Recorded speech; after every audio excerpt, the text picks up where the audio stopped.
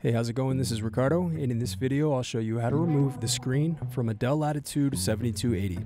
If you're looking for parts for this laptop, go to our website and use this coupon for a 5% off discount.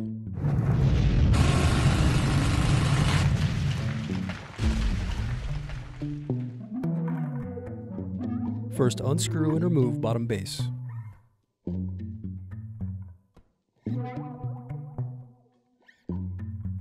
Then unscrew and disconnect battery.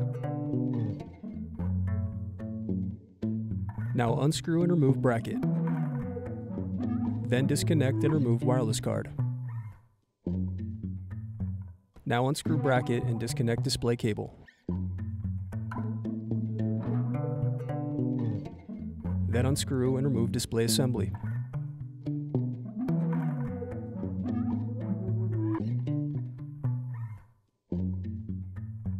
Now disconnect and remove screen.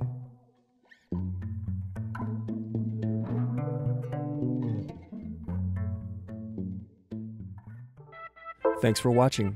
Don't forget to like and subscribe if you enjoyed this video. And if you need more, check out this playlist to watch other tutorials for your laptop. You can also click here to find parts for your laptop at partspeople.com.